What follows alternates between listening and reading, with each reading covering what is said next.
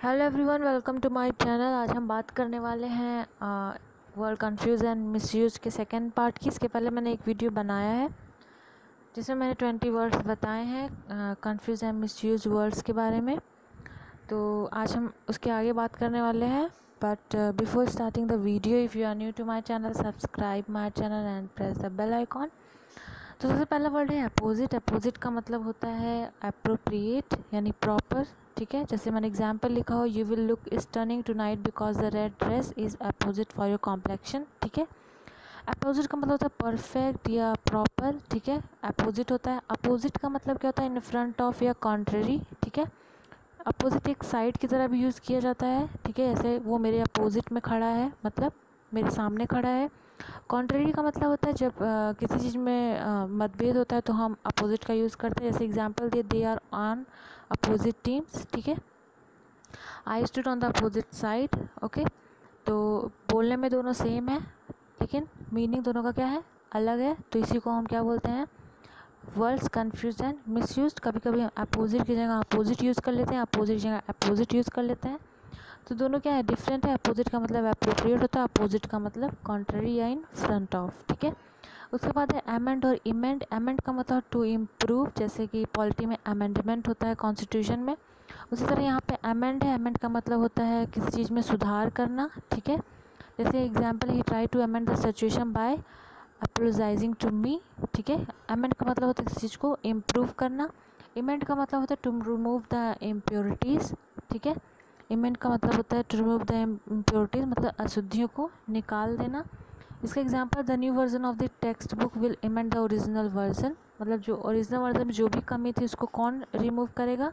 New version ठीक है? तो ये क्या होता है? एमेंड एंड इमेंट अगला है एमोरल एमोरल का मतलब हैविंग नो मॉरल सेंस जैसे कि stealing from the poor is an example of an amoral action जैसे किसी गरीब आदमी से कोई चीज़ चुरा लेना एक तो वो पुअर है और उसके बाद हम उससे कोई चीज़ चुरा लें तो ये क्या एक अमॉरल है?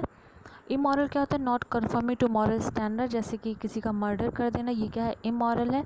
एमॉरल और इमॉरल में अंतर ये होता है कि एमॉरल में क्या होता है कि हमें मॉरल सेंस नहीं होता है, ठीक है? हमें मॉरलिटी नहीं पता होती है। लेकिन इमॉरल में क्या होता है कि हमें मॉरलिटी पता होने के बाद भी हम वो काम करते हैं तो उसको हम क्या बोलते हैं? इमॉरल बोलते हैं, ठीक है? अगला क्या है? एंटीक्स एंटीक्स का मतलब होता है ट्रिक्स यानी किसी को हंसाने के लिए जो हरकत की जाती है, उसे हम क्या बोलते हैं? एंटीक्स बोलते हैं, जैसे she was laughing uncontrollably uncontrollably over the antics of the puppy ठीक है? और एंटीक्स का मतलब क्या होता है? एंशियन पीसेज ऑफ़ आर्ट यानी जो प्राचीन कला की वस्तुएँ होती हैं, ठीक है? तो जैसे कि the large room contain some of the most beautiful antique furniture ठीक है? जैसे जो पुराने ज़माने की चीज़ें होती हैं, उनको हम बोलते हैं एंटीक्स ओके तो ये दोनों में अंतर होता है। अप्रेज का मतलब होता है किसी की क्वालिटी का मूल्यांकन करना, ठीक है? एसेस द क्वालिटी ठीक है? किसी चीज़ का मूल्यांकन करना उसे हम क्या बोलते हैं? अप्रेज बोलते हैं। जैसे Hina appraise him for a moment अगला है अप्राइज अप्राइज का मतलब होता है किसी को इन्फॉर्म करना, ठीक है? जैसे I schedule a meeting for the afternoon to apprise my boss of the project status ठीक है? अप्राइज का मतलब क्या होता है? इन्फॉर्म करना और अप्रेज का मतलब होता है किसी का मूल्यांकन करना। एल्यूज़न का मतलब होता है इनडायरेक्ट रेफरेंस जैसे कि बुक्स में एल्यूजन्स होते हैं, जो कि क्या देता है? बुक के एंड तक का एक हिंट दे देता है कि कहानी किस बारे में है। तो उसे हम क्या बोलते हैं? एल्यूज़न बोलते हैं। एल्यूज़न का मतलब होता है किसी चीज़ का भ्रम होना डिसेप्शन होना, ठीक है? जैसे whether it was so merely chance और allusion one no one knows ठीक है? एल्यूज़न मतलब क्या होता है? भ्रम होता है। और एल्यूज़न का मतलब क्या होता है? किसी चीज़ का अप्रत्यक्ष रूप से ज्ञान देना, उसे क्या बोलते हैं? एल्यूज़न बोलते हैं। अगला है बिसाइड और है बिसाइड्स बिसाइड का मतलब होता है बाय द साइड ऑफ़ यानी जो किसी आ, हमारे कोई चीज़ बगल में होती है तो हम क्या बोलते हैं बिसाइड बोलते हैं।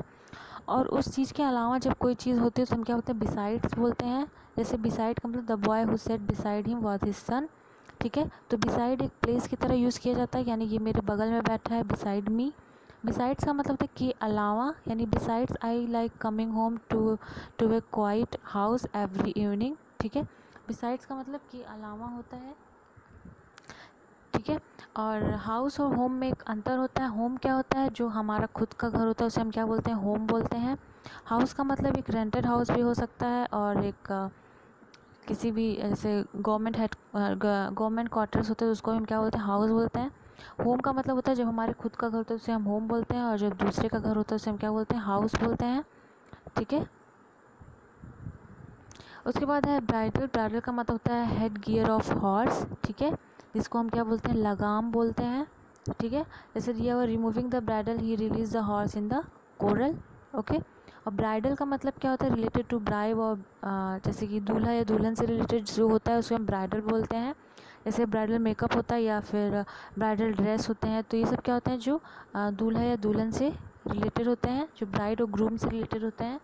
अगला है बेनिफिशियल बेनिफिशियल का मतलब होता है यूज़फुल तो doctor said it was beneficial bacteria ठीक है? और बेनिफिशियरी क्या होता है? One who receives benefit beneficial का मतलब तो यूज़फुल हो गया और बेनिफिशियरी का मतलब हो गया जो उसको रिसीव करता है। जैसे एग्जांपल मैंने दिया हुआ है। If the insured person dies during the time when the insurance policy is in effect the insurance company pays the amount of the death benefit to the beneficiary of the policy ठीक है? Beneficiary मतलब जिसको वो लाभ मिलता है। ठीक है?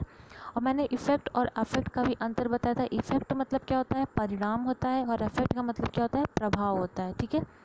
अगला है बोर। बोर का मतलब पिग यानी सुअर से रिलेटेड होता है बोर। और बोर एक होता है, इसका मतलब होता है टू टॉलरेट इसका एक सेकेंड फॉर्म किसका है? बियर का फुल फॉर्म है।